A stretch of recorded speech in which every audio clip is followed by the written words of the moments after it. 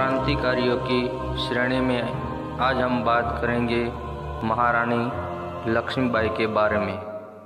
महारानी लक्ष्मीबाई का जन्म 19 नवंबर 1828 में वाराणसी में हुआ था। रानी लक्ष्मीबाई के पिता का नाम मोरोपन तांबे और माता का नाम भागीरथी बाई था।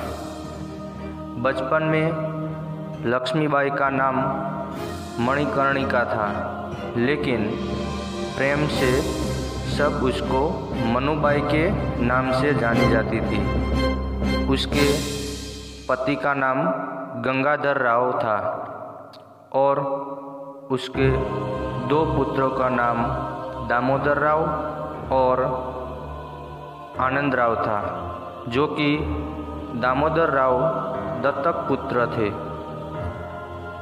गंगाधर राव से शादी के बाद उसका पुत्र प्राप्त होता है।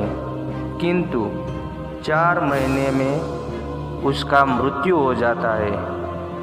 इस दुख के आघात से उसका पति गंगाधर राव की मृत्यु हो जाती है।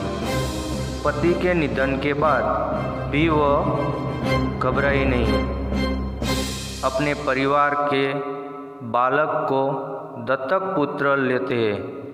लेकिन अंग्रेज़ सरकार ने दत्तक पुत्र का अस्वीकार किया। झांसी को अंग्रेज़ राज्य में मिलाने की घोषणा की।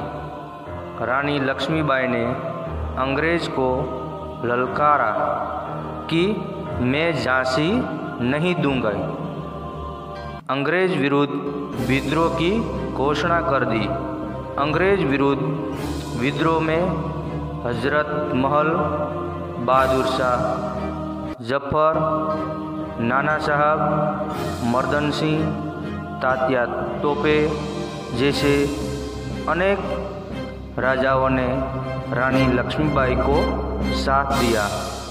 अंग्रेज़ अफसर हयूरोज ने इस विद्रोह को दबाने का बहुत प्रयत्न किया। महारानी लक्ष्मीबाई ने अंग्रेज़ के सामने सात दिन तक वीरतापूर्वक सामना किया और अंग्रेज़ को बेहाल कर दिया।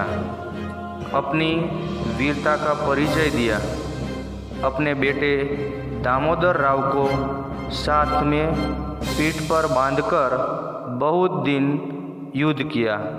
किंतु अंग्रेज़ की विशाल सेना के सामने महारानी लक्ष्मीबाई का घोड़ा पूरी तरह थक गया था और घायल हो जाता है।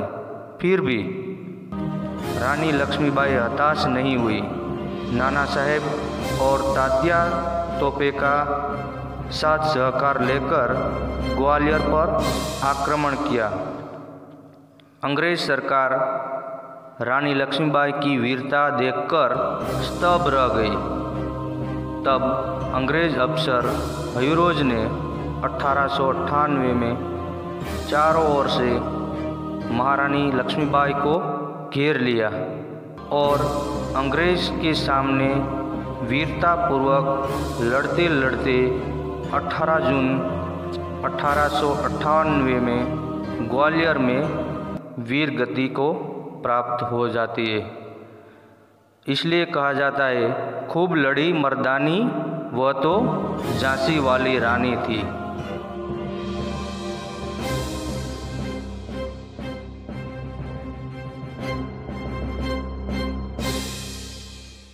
महारानी लक्ष्मीबाई ने एक सूत्र दिया था कि मैं झांसी नहीं दूँगी, ऐसी महान वीरांगना अंत में वीर गति प्राप्त करती है।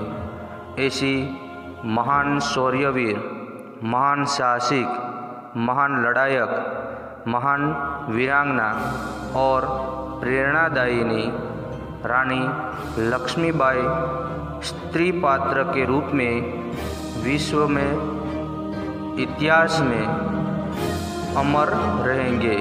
महारानी लक्ष्मीबाई को मेरा सत सत प्रणाम।